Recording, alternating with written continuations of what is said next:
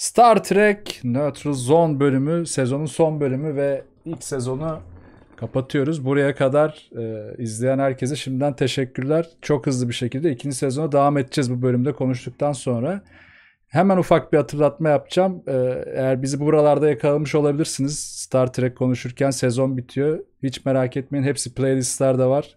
Oturup baştan izleyebilirsiniz. Ha nereden başlayacağız derseniz Star Trek Next Generation ilgili ayrı bir videomuz var. Star Trek'e nereden başlanır diye ayrı bir videomuz var.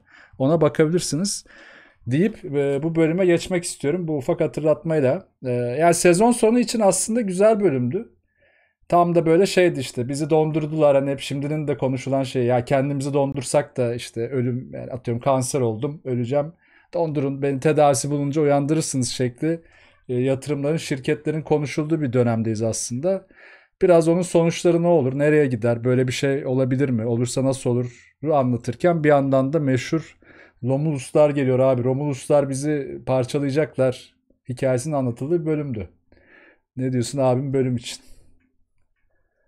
Ee, sen nasıl buldun bölümü? Ben e, Conspiracy'den sonra çok beğendim.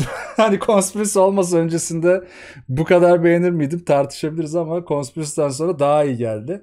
Yine biraz çiğlikleri vardı özellikle e, karakter diyalogları tarafında insanların e, işte zengin hep güçlü olmayı ister kardeşim biz yönetmeyi istiyoruz falan. Tabii bunlar güzel mesajlar o dönem için de doğru mesajlar ama çok e, yine Star Trek'in şimdiye kadar alıştığımız e, daha böyle içine gömülü, daha böyle alttan verdiği, seni düşündürttüğü şekilde değildi. Daha böyle höt höt bir diyalog şekli vardı bölümün. Ama bir yandan da işte Romulanlara odaklanması orada bir e, bakın ikinci sezonda neler olacak biraz hissettirecek mi derken çok bir şey de hissettirmedi. Biraz o beni üzdü. Yani o da öyle bir bölümde bitti gibi oldu yine sonunda da. Yani evet Conspiracy'den sonra daha çok beğendim ama dediğim gibi Conspiracy olmasa bu kadar beğenir miydim bilmiyorum. E, bana keyifli geliyor bu bölüm baya. E, şeyden ötürü işte bir yandan yani üç tarafta bir kıyas yapma imkanı sağlıyor. Bir yandan işte geçmişten uyandırılan karakterler var. Bu geçmişten oluştur uyandırılan karakterlerden iki tanesi dalıyor. Bir tanesi zengin dalıyor. bir tanesi işte şarkıcıyız abi. Müzisyen dalıyor. Abi, falan tarzı böyle. Bir tane de ev kadını random bu şekilde bir ev kadını uyanıyor. Yani böyle özel birisi değil hani aslında düşündüğün zaman. Ee, ve şey ev hanımı. Ev kadını ne ya? Neyse. Ev hanımı ablam uyanıyor. Ve bunları böyle kurcalamaya, kurajtır, kur, karıştırmaya başlıyorlar. İşte Offenhouse karakterinin böyle param var her türlü. Kesin işte uf şimdi faizi birikmiştir. Evet Hemen böyle zalim kafalara geçiyor. O, onun şey güzel. Banka, banka mı? Para, para mı? Abi hmm. nasıl fena patladık diye böyle. Evet evet o yani adamın böyle düzenin hiçbir şekilde değişmemiş olacağına ve işte kaptanın kendisini eğlendirmek zorunda olmasına olan yatkınlığı, eğilimi falan bayağı saçma ve komik kalıyor. Biraz aslında şeyi gösteriyor yani Starfleet ile beraber gelecekte insanlık neleri bıraktı, neleri kazandı açısından güzel bir kıyas olmuş. Ee, eski adetlerine sayesinde bir takım imtiyazlar sahibi olmuş birileri o imtiyazları bırakmayı sağlamıyor. Aslında biz artık bu kadar imtiyazlı insanlar görmüyoruz Starfleet'te çünkü şu ana kadar hiç görmedik. Hep Tabii. bir amaç uğruna çalışan insanlara rastlıyorsun. O mantık güzel. Ee, şey bu amaçlar bana. E, pardon girdim araya da bu amaçlar çok kişisel ya sanırım Picard diyordu onu bir yerde işte. Hani artık çalışmak zorunda değilsin. Kendini geliştir, bir amaç edin. Hı-hı. Hani yani hep istediğin şeyler yapabilecek bir dünya var ya bir geze bir evren var artık.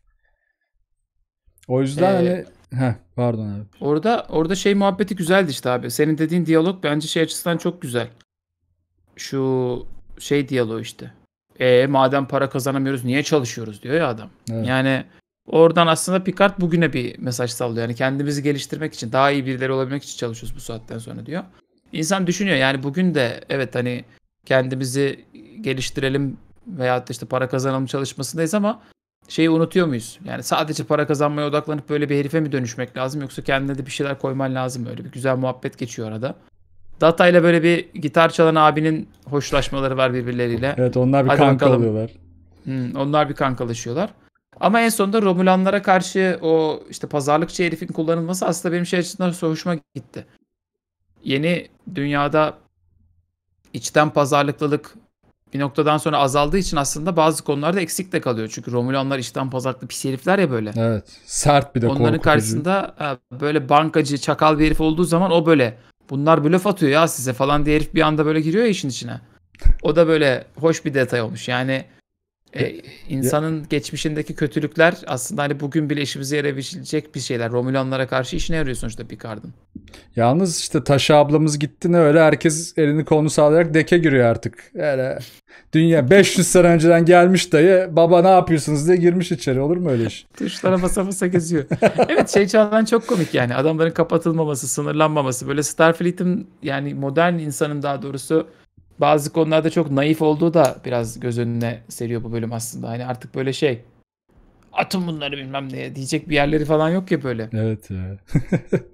Hoş Ya yani daha doğrusu atmışlar da birkaç bölüm önce Klingonları ama bunları böyle atmıyorlar bir türlü oraya. Şey güzeldi işte şeyin şoku özellikle Offenhouse tarafında yani e, bir şeye sahip olmama nasıl bir şey bilmiyoruz ya.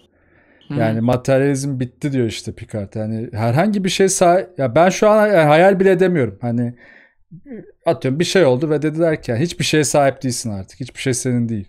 Ama çok iyi olacaksın. Her şeyi yapabilirsin. Evrende gezebilirsin. Ne bileyim işte götünden ateş çıkarabilirsin. Galaksi sınavına girip işte bir gezegenle ilgili e, mühendis olabilirsin. Oraya gidip çalışıp yani hiç şu an hayal edemiyorum ve bir yere dönüyorum ve onlar da benim değil. Ee, ya bir aidiyet hissi çok tuhaf. Bunu biraz sorguluyorlar aslında. Picard Holodeck'e ilk girdiğinde o aidiyet, dünya aidiyeti konusunu, o eskiyi yaşamayı güzel sorguluyorlardı. Hani buna alışmışlar ama çok da hani yüzde yüzde sıfırlayamamışlar. O yüzden biraz Offenhouse gelince e, onu da anlamakta zorlanıyor ama bir yandan da e, onun tavrı, hali o sahiplik üzerinden ya da işte yönetme tarzı, Hı. paraya sahip olma üzerinden koyduğu tepki de biraz daha işte Romulan gibi e, daha eski kafalı mı diyeyim artık çok tanımıyorum Romulanları şu anda ama daha böyle sert psikopat tiplere karşı diyalog farkının işe yaradığını da orada görüyorlar. Bu da zor bir şey. Yani bu biraz senin yaşam tarzından gelen bir şey. Yani her zaman kibar olamazsın ama yaşam tarzın seni böyle yetiştirdiyse öylesindir. Ya bir anda da sertleşemezsin de yani. Güzel Romulanlarda detaylardı şey bunlar. gibi durumlar var böyle abi işte hiç kimseye güvenme, hiç kimseye hiçbir şeyini anlatma. Tam böyle e, ne bileyim eşine dostuna bile böyle şeyi söylemez. Kendi adını söylemez başka bir isim söyler falan gibi. Böyle küçük Hmm. numaralar olan çakal çakal tipler. Bir de bu arada bu bölümde şeyde küçük bir işaret yapılıyor. E, yani Romulanların bir sürü outpostu kaybolmuş. İnsanlar da yapmamış o işi. Kim yapmış o zaman? Evet. Bir diğer O da tam belli değil. Böyle yeni sezon da geliyor. Aşağıdan aşağıdan bir küçük küçük ateşler at- atılıyor dünyaya. Gibi gibi ilginç durumlar. Evet oradan minicik bir işaret vermişler. Derken Romulanlar geldi galiba. Romulanlar geldi abi ufaktan. Peki abi o zaman sana bir soru. Hadi bakalım. Star Trek The Next Generation ilk sezonu bitiriyoruz şu anda. İlk kez Evet. izledin sen de bu vesileyle Evet. The Next Generation'ı. Nasıl buldun şu noktaya kadar? Ben aşırı mutluyum ya. Yani toplamda e, işte Conspiracy. Hatta dur acaba bunu ikinci bir bölüm mü yapsak? Bunu böyle bir bölüm finali gibi ayrı bölüm yapalım. Doktorlarda da öyle yapıyorduk. Daha iyi oluyordu. Aa olur. o zaman güzel. bence bu bölümü kapat. Bence Tamam. biz bir şey yapalım. Tamam. Sezon Genel finali konuşalım bir de yani. Aynen. bir sezon değerlendirmesi yapalım. Tamam Aynen. olur. Okey. E, o zaman bu bölüm bitireyim ben burada. Neutral Tamam. Zone bölümünü. Zaten e, bunun devamında ben bu iki videoyu beklemeyeceksiniz. Muhtemelen aynı gün aynı saatte basacağım. O yüzden korkmayın. Bu videoyu bitirdiyseniz birazdan çekeceğimiz sizin de hemen izleyebileceğiniz birinci sezon değerlendirme bölümüne geçeceğiz. Görüşürüz.